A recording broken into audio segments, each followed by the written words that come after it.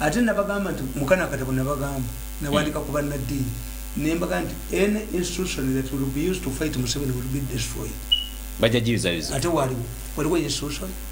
Mbabazi yakeranga lubaga ono gundi yakerangawa yakeranga gendi musanji wa kabaka yekiza nyina wa kabaka nyina wa mbabazi mu- mugundi muganda M- gundi owerubaga alonze embabazi nti agenda ku kikulu yakakiiko akaleeta paapa nga ne pulezidenti anamusaba mukulu mirundi kati nedda balinnya yerubaga President- kati rubaga mwali nedda rubaga mwali institution zonna buli eteesa akanyanja baba baba olaba nemengo tekyayogera. For the first time in uganda's history there is no issue that does not attract mengo's attention.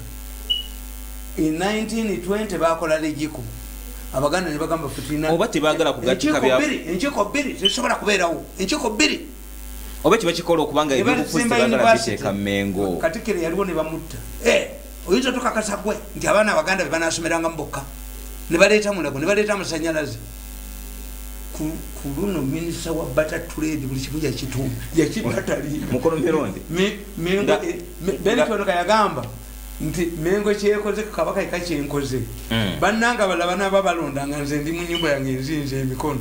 Kakati ensi eri ku byayo minisita wa bata trade ali menga azinza emikono museveni tumukubireko mu ngalo kinyu museveni tumukubireko mu ngalo mukulu mirundi Eh, buli president museveni. buli institution ebadde ereeta obujozi mu byobufuzi bya uganda baba ekubiddwa.